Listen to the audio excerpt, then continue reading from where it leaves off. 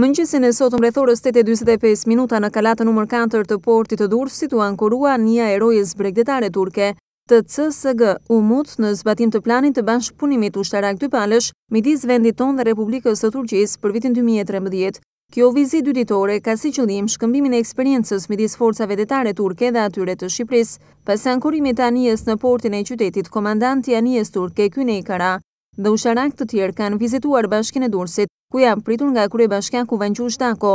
Gjatë bisedës, Dako i ka prezantuar anëtarët e flotës turke me një pjesë të historisë dhe arkeologjisë së qytetit tonë, Duke u ndalur tek vlerat më të veçanta që qyteti dy mijë e shtatëqind vjeçar ka trashëguar ndër shekuj, gjatë takimit ata kanë biseduar edhe për miqësinë e mirë që karakterizon marrëdhëniet midis dy vendeve, si dhe kanë diskutuar çështje që kanë të bëjnë me bashkëpunimin ushtarak në kuadër të NATO-s.